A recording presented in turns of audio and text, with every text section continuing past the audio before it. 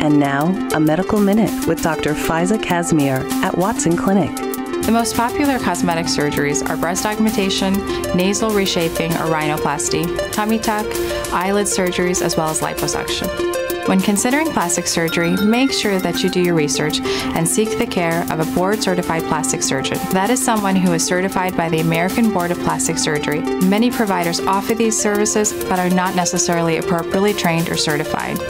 Also, when doing your research, make sure you educate yourself on what are reasonable expectations for the surgery, as well as reasonable expectations for outcome and the recovery. It's often helpful to get recommendations from your friends and family regarding surgery, as they may have personal experiences that they are able to share with you to give you a different perspective on the plastic surgery procedures.